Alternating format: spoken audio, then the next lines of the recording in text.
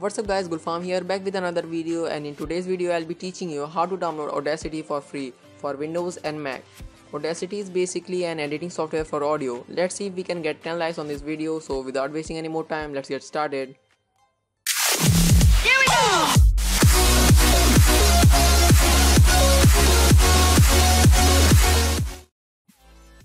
Alright, first thing you need to search for Audacity or type audacityteam.org forward slash download and click on the first link. It will take you to the official website of Audacity or just click on the link given in the description of the video.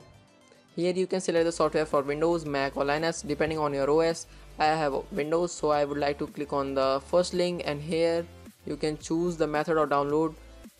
This will take you to the another page. Click on the first link and the download will start. This can take some time depending on your internet connection.